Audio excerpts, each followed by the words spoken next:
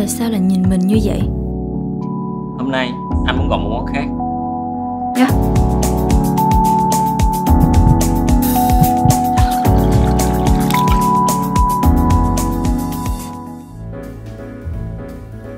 Chị, nhìn kỹ thì anh Thách kia cũng đẹp trai mà đúng không?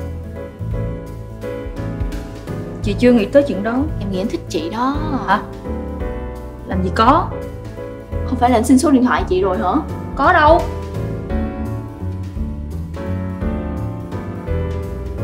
Mà sao em biết?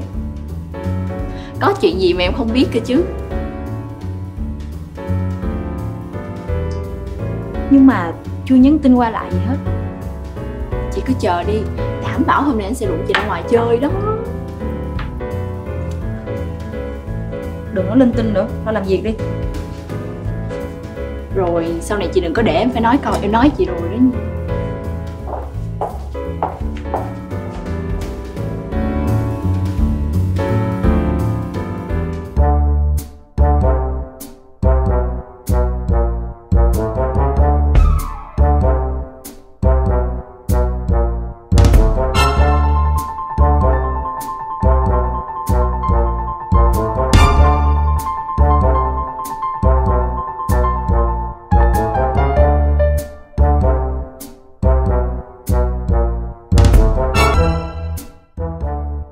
Mình nghĩ cái linh tinh gì vậy trời?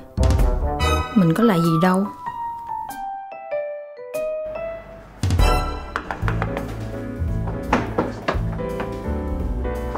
Em làm gì vậy? à, Em làm rớt đồ mà em kiếm không thấy.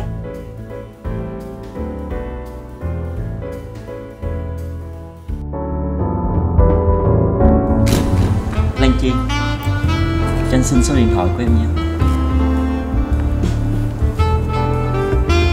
Đây anh nhé.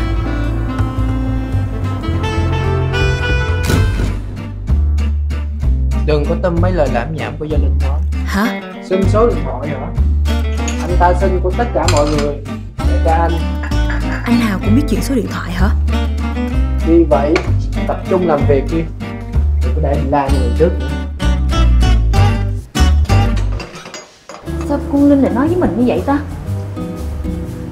Không lẽ nó biết mình thích người yêu nó. Chắc không đâu. Em ơi.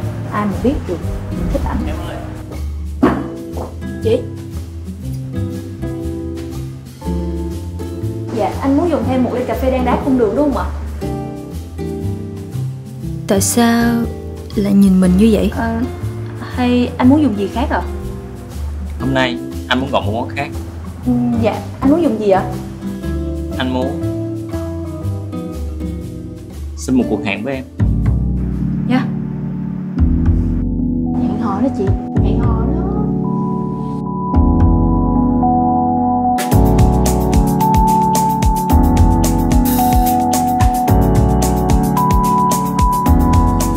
Mẹ luôn dặn là chọn người thích mình. Dạ được ạ. Anh sẽ nhắn tin cho em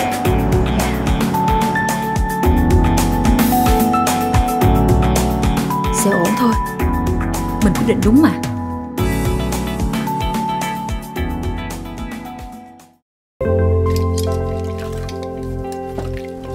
Hôm nay tôi muốn gọi món khác. Trẻ con. Anh thấy anh có hơi tàn nhẫn với đóng ly dĩa đâu.